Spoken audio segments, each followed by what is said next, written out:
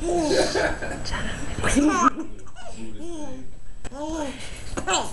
is talking to her. What's up after me? What's up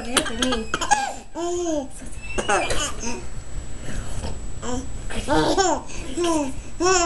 me?